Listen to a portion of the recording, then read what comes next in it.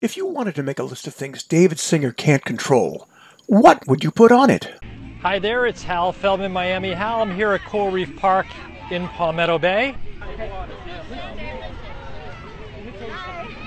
You are lying constantly to me, okay? Hey, do me a favor. That goes anywhere, I'm going to sue you, okay? You right now. Remember, it's something that David Singer can't control. Conversations we've had.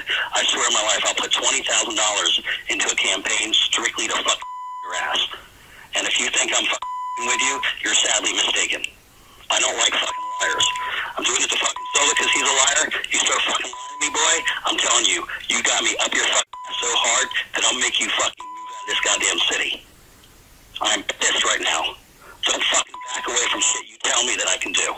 Something David Singer can't control. That councilman and his son are accused of taking part in what witnesses call a melee. A video from a police body camera shows Palmetto Bay Councilman David Singer with a drink in hand speaking with investigators after he and his son got into a fight with a crowd of patrons at Gilbert's Resort in Key Largo earlier this month. So what happened?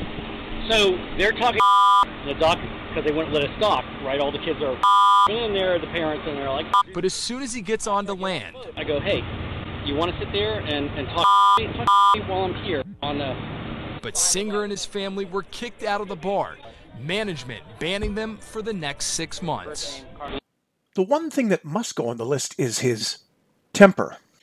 I'm Steve Cody, and I want to make life better for everyone in Palmetto Bay.